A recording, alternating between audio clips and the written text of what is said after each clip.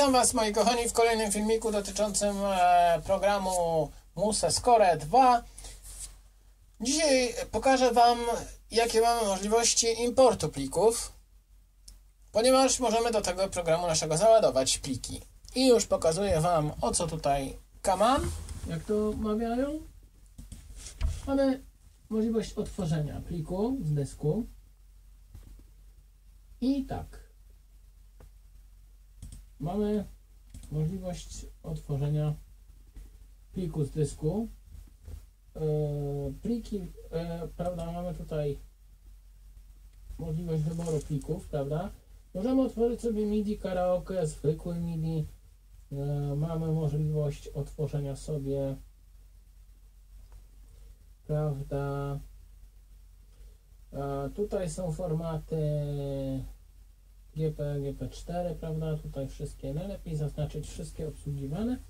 Wtedy będziemy mogli sobie zaimportować wszystkie te, które są obsługiwane i nie będzie z tym problemów żadnych, prawda?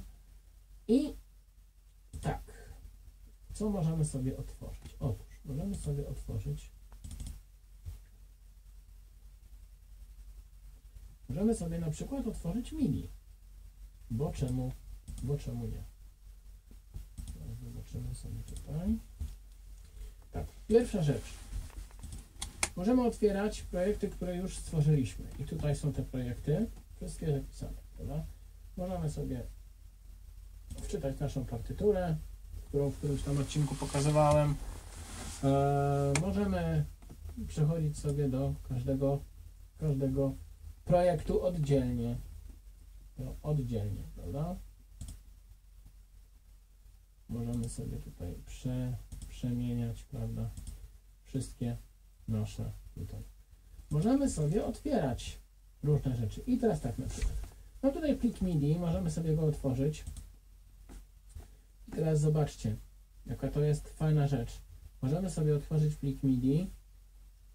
Mamy na przykład piosenkę zapisaną w pliku MIDI i chcielibyśmy nuty do tej piosenki. To możemy sobie po prostu kliknąć dwa razy i ona nam się otwiera, moi kochani. I mamy wszystkie możliwe części partytury i jak ją zagrać. Oczywiście e, i oczywiście możemy kawałeczek jej, za, jej zagrać.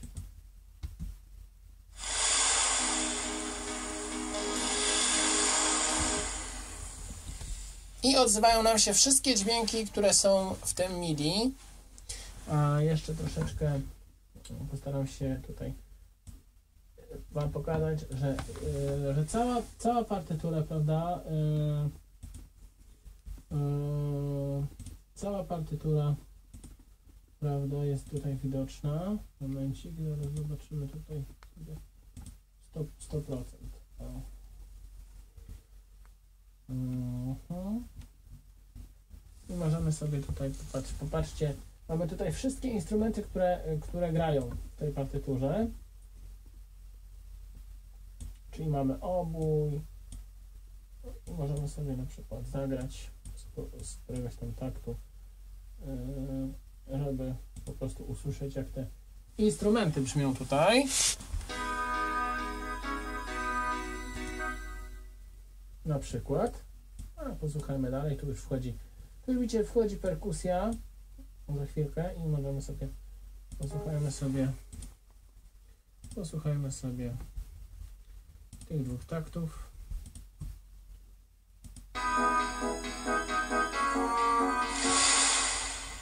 I mamy, proszę bardzo, całą partyturę, możemy sobie ją wydrukować.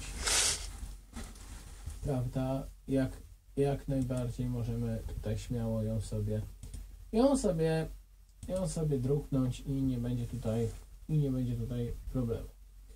Jak widzicie, mamy tutaj możliwość jak otwieramy dokumenty, mamy możliwość przemieszczania się pomiędzy partyturami u góry. Także możemy śmiało, ja to pozamykam. Na razie zajmiemy się partyturą ostatnią, którą grałem. I tak, no mówię, e, mówię, grałem partyturkę, możemy ją sobie tutaj manipulować. Tutaj mamy tutaj mamy nasze, e, na dole mamy, e, prawda, kanały, które tutaj występują w partyturze i możemy sobie, prawda, tu mamy nazwę dźwięków, nazwę instrumentów i możemy sobie tutaj tym też, mani, tym też manipulować. Mm.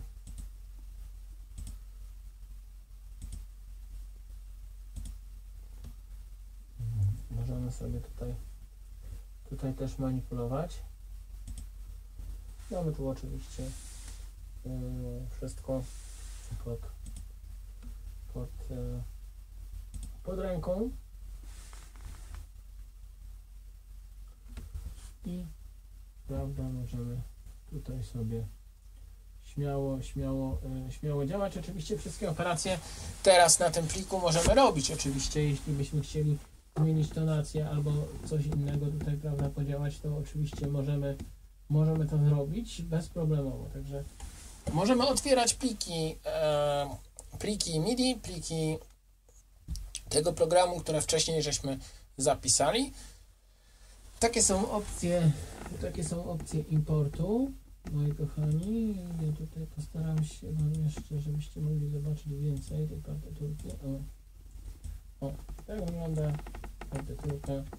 No, bo jest to e, normalna piosenka, prawda, więc e, partytura jest dość, dość obszerna, dość obszerna w, e, w takty, prawda. Dość obszerna.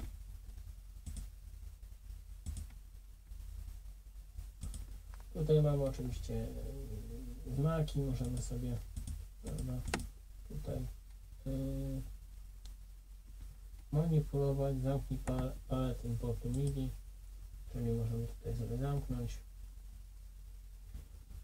i, i działać na, na samej partyturze, prawda? Jest to, no mówię, yy, brzmieniowo bardzo dobra aplikacja. Yy, mamy tutaj naprawdę mnóstwo yy, rzeczy do yy, dużo możliwości i, i mówię, i import, jeśli importujemy pliki, no to mamy tutaj, prawda, możliwość otworzenia sobie poprzednich plików, jak i plików e, stworzonych właśnie w, e, tutaj w tym programie, tak? I możemy również importować PDF-a, moi kochani. Możemy importować PDF-a. Zaraz zobaczymy. Mhm. Tyle, że PDF-a. PDF-a. On szuka po sieci. Ten program, więc jeśli będziecie mieli sieć, możecie znaleźć PDF-a sobie mm, w sieci jakiegoś, na przykład jakieś nuty w sieci, to y, śmiało możecie, możecie je otworzyć i nie będzie z tym problemu.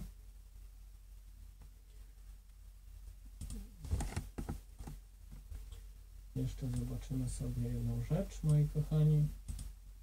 Mianowicie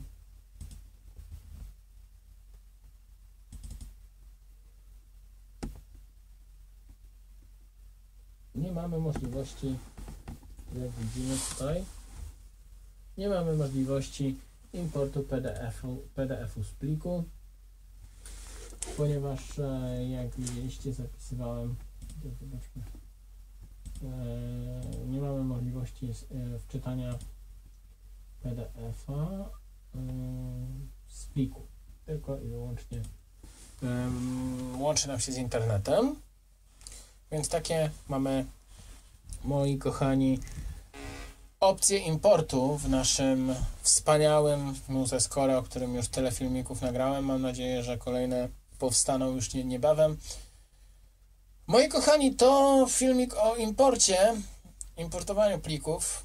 Bardzo sprawnie to idzie. Widzimy, mamy całe partytury i możliwości manipulacji każdą z nich. Oczywiście będziemy się zajmować kolejnymi rzeczami w kolejnym kolejnych częściach, także czekajcie na nie, a ja na pewno je nagram. Jeśli tylko znajdę jakieś e, funkcje, o których warto tutaj wspomnieć, na pewno się pojawią. Ja Wam za dzisiaj dziękuję i do następnego. Trzymajcie się, cześć!